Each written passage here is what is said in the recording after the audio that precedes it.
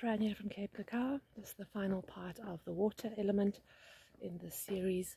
It's just to speak about something practical that I like to do working in my cacao ritual spaces. Is I have a offering of water for myself and for spirit. Spirit of Grandmother Moon, spirit of the sweet waters of the earth and the salt waters of the ocean. So I might have two separate cups, one for myself and one for spirit, just like I would when I serve cacao. I serve cacao to spirit in a cup and I serve myself. So I do the same with the water element, and then before I even start drinking my cacao, I first give this as a cleansing offering into my physical body, just to cleanse the energy.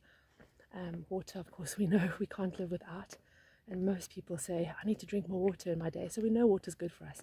So just to give that first offering into the physical body, and then you can actually afterwards once you've finished up with your cacao ritual is to take your cacao offering but also your water offering any other offerings you have and then take them out to nature and give them back as water for the beautiful plants